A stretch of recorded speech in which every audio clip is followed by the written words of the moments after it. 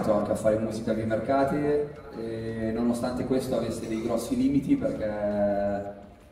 nel 2005-2006, come penso tutti sappiate perché siamo più o meno tutti grandi qua dentro, questo è un genere musicale che è diventato grande negli ultimi anni e quindi mi ricordo eravamo in tre a fare il rap per i mercati, e... però è una città che mi ha dato tanto. Eh, da cui diciamo, ho assorbito tante, tante, cose, tante vicende, come spesso dico io ho un ricordo per ogni angolo, per ogni via di questo, di questo paese, è la mia città, la mia gente. E nonostante diciamo, magari sia stato anche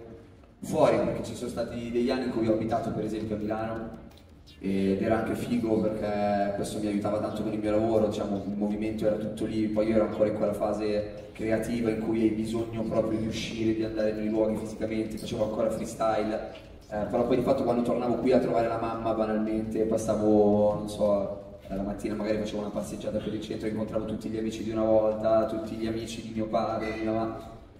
C'era quella sensazione di familiarità che poi mi ha portato a tornare qui perché a casa mia mi sento a casa molto più qui che altrove.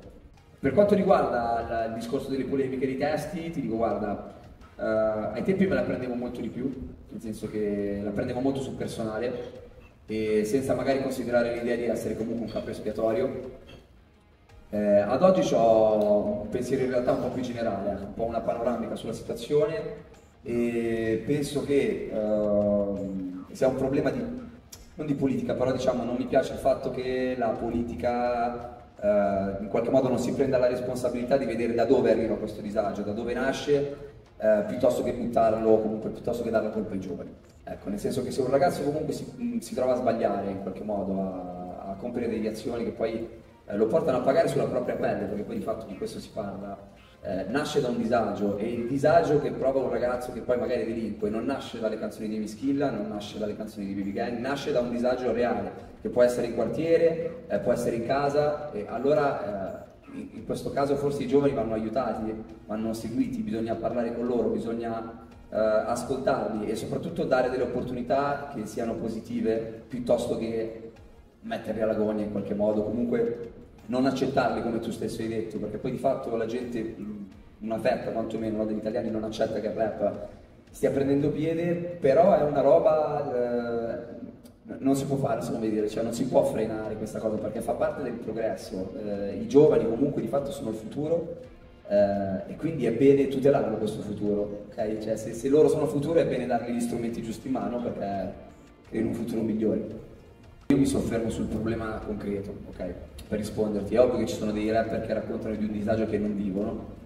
eh, però un giovane che fa questo in realtà poi non si trova realmente nei guai, non so è una persona che poi di fatto non compie delle azioni sbagliate, può magari dare dei messaggi sbagliati attraverso la musica, però non si va oltre e lì poi si apre un'altra parentesi sui messaggi della musica eccetera. Io parlo proprio di giovani che poi effettivamente, al di là di quello che possono dire, poi sbagliano eh, nella vita vera, è lì che sta il problema secondo me. E no, assolutamente penso che il modo diciamo, di risolvere questa cosa non stia nel, nel censurare, nel mettere dei freni. Mio papà diceva sempre più, una, più pressi una molla, più salta, no? E, e, io penso che, non so, a me è capitato di andare a parlare per esempio con i giovani anche, che ne so, nelle comunità o nei carceri minorili e